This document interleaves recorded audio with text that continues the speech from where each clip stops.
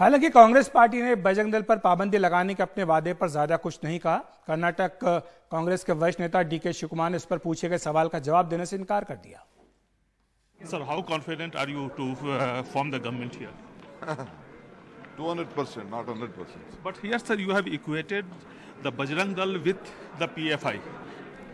I don't want to comment. Let the public comment on that. और हमारे साथ हमारे सहयोगी निहाल किदवई हैं इस पर अधिक बातचीत करने के लिए निहाल ये जो मुद्दा उठा है, इसके बाद आपको क्या लग रहा है कि एक तरफ़ से ध्रुवीकरण का प्रयास किया जा रहा है, दूसरी तरफ़ से भ्रष्टाचार के मुद्दे को लेकर के कांग्रेस पार्टी आक्रामक है?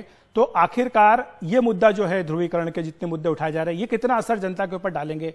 और ऐसे कौन से क्षेत्र हैं कर्नाटक के जहाँ पर कि इन मुद्दों का असर हो सकता है?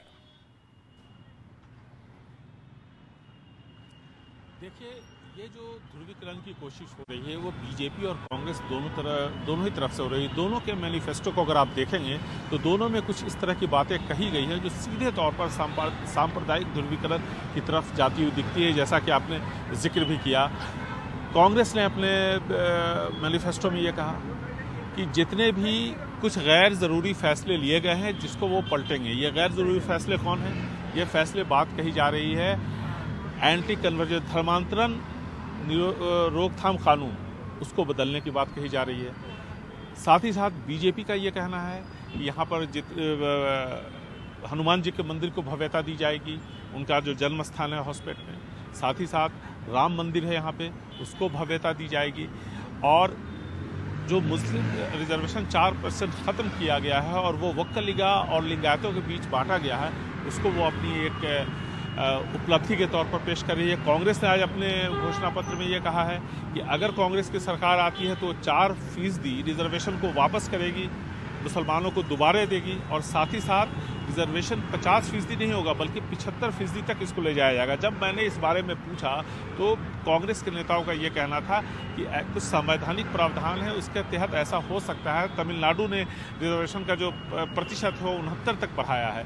लेकिन अखिलेश जी, इन सब चीज़ों के बीच में आप देखिए कि ये ध्रुवीकरण की कोशिश साफ़ तौर पर दोनों ही पार्टियाँ कर रही हैं यहाँ पे, इसमें कहीं कोई दो राय नहीं है। लेकिन जो मुद्दा है, जो आम लोगों से जुड़ा हुआ है, जिससे गाँव के लोग बहुत परेशान हैं, हम जब गए थे गाँव में तो वहाँ हमने देखा कि लोग महँगाई से परेशान हैं और महँगाई के बारे में, चाहे वो जेडीएस हो, बीजेपी हो या कांग्रेस हो, तीनों में से कोई भी बात नहीं कर रही है। सिर्फ़ लोक लुभावने वादे और ध्रुवीकरण का प्रयास। तो ये जो प्रयास किए जा रहे हैं निहाल, ऐसे कौन से इलाके हैं जहाँ पर किस तरह की राजनीति चलती है और जिसमें कि ये कहा जा सकता है कि बीजेपी को इसमें कामयाबी मिल सकती है? देखिए, जो तटीय कर्नाटक है, कोस्टल कर्नाटक है, वहाँ 19 सीटें हैं। और तीन जिलों में। और यहाँ जो 19 सीटें हैं, इस पर इसका सीधा असर पड़ेगा। इसमें कहीं कोई दो राय नहीं है। और हमने देखा कि जब चर्च पे हमले हुए उस वक्त जो परिणाम आए उसके तो फ़ौरन बाद विधानसभा चुनावों के, और फिर जब पब पे हमला हुआ, उसके बाद जो विधानसभा चुनावों के परिणाम आए, बिल्कुल अलग थे, एक दूसरे के बिल्कुल विपरीत थे। यानी ये जो तटीय कर्नाटक है, वहाँ इसका सीधा असर पड़ेगा। इसका असर आपको बेंगलुरु शहर के कुछ विधानसभा क्षेत्रों पे, आप कह सकते हैं कि 12 से 15 विधानसभा क्षेत्रों पे 28 में से। मैं बृहत बेंगलुरु की बात कर रहा हूँ की बात नहीं कर रहा हूँ, मैं सिर्फ़ बेंगलुरु शहरी क्षेत्र की बात कर रहा हूँ, जहाँ अट्ठाईस सीटें हैं। इसमें से 12 से 15 सीटों पे इसका असर पड़ सकता है, खास करके दक्षिणी बेंगलुरु, दक्षिणी पूर्वी बेंगलुरु जो है, उन इलाकों पे इसका असर पड़ेगा, जहाँ बीजेपी का काफ़ी दबदबा है। तो कुल मिलाकर के आप कह सकते हैं, तीस से चालीस सीटें ऐसी हैं, जहाँ पर इस तरह की बयानबाजी, इस तरह की ध्रुवीकरण की जो कोशिश है, वो बीजेपी को फ़ायदा पहुँचा सकती है। बहुत बहुत शुक्रिया आपका निहाल इस तमाम जानकारी जो कांग्रेस पार्टी का घोषणा पत्र आया है, इसमें सामाजिक न्याय के एजेंडे को भी कांग्रेस पार्टी ने आगे बढ़ाया है और कर्नाटक में कई वादे किए इसमें आरक्षण को 50 प्रतिशत से बढ़ाकर 75 प्रतिशत करना और सामाजिक आर्थिक जनगणना के आंकड़े जारी करना भी शामिल है। इसके अलावा गृह ज्योति योजना के तहत 200 यूनिट बिजली मुफ़्त दी जाएगी, ये भी कांग्रेस पार्टी की ओर से गारंटी दी गई है। बीपीएल परिवार को हर सदस्य को 10 किलो चावल हर महीने दिया जाएगा, ये दूसरी गारंटी है। इसके साथ ही एक साल में ढाई लाख सरकारी नौकरियाँ देने का वादा भी कांग्रेस की ओर से किया गया है। एक तीसरी गारंटी है परिवार की महिला मुखिया को दो हज़ार रुपये महीने देने का। साथ ही महिलाओं को मुफ़्त बस यात्रा देना, ये चौथी गारंटी कांग्रेस पार्टी की ओर से। और पांचवी गारंटी है बेरोजगार ग्रेजुएट को तीन हज़ार रुपये महीने दो साल तक देने के लिए। और बेरोजगार डिप्लोमा धारक को दो साल तक डेढ़ हज़ार रुपये महीना कांग्रेस पार्टी की सरकार देगी, अगर वो सत्ता में आते हैं तो। कांग्रेस को तीन से, किसानों को तीन से दस लाख रुपए तक का टैक्स फ्री लोन भी देने का वादा किया गया है।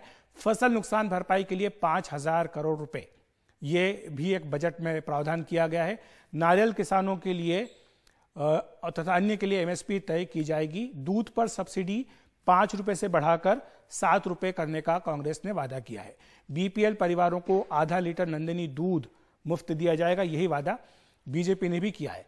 2006 के बाद से जो सरकारी कर्मचारी आए हैं, उनको ओपीएस देने पर सहानुभूतिपूर्ण ढंग से विचार कांग्रेस करेगी। पच्चीस हज़ार प्रशासनिक कर्मचारी जो हैं, अस्थायी हैं, उनको नियमित किया जाएगा।